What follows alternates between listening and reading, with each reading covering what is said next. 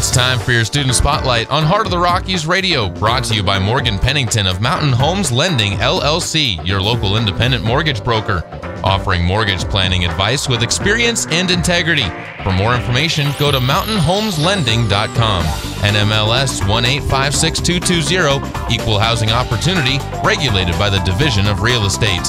Now, here's your student spotlight on Heart of the Rockies Radio. Welcome back out to another one of our student spotlights. Joined now with Aja Hogan from the Buena Vista Cross Country Team. And Aja, talk about the uh, start of cross country season. You've been seeing some good numbers for yourself being put up there. How have you felt for your performance? I felt really good. Um, at first, I was not sure what was going to happen because um, it's my first year running high school cross country. But um, at Liberty Bell, I was able to run a 25:02, and I was really excited about that because that was one of my main goals. And now I'll have to change that goal. So, when you talk about uh, setting goals for cross country, being the fact that it's your first year back to high school, was there any kind of nervousness setting those goals and wondering how you were going to be doing?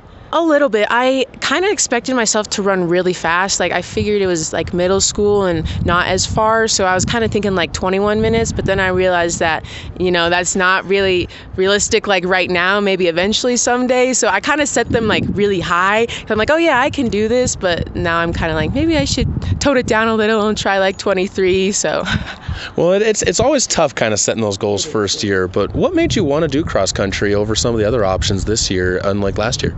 Um, I really wanted to get in shape and be more active, especially for basketball. I know it will help me a lot for that, and it, the team is super fun to be around, and I just love it a lot. I was going to say when it, when you look at the teams here at Buena Vista, all of them seem to have a good chemistry, but the cross country team really, uh, when, when you're there, it's always laughing, joking, and smiling on the faces.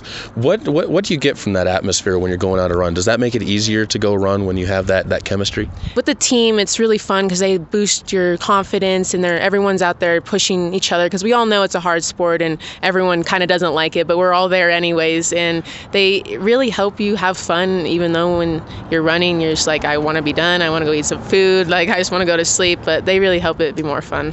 Well, it's definitely been fun to watch you guys out there and, and see the success y'all have been having. And good luck as you keep going through the year, Aja. Thank you so much.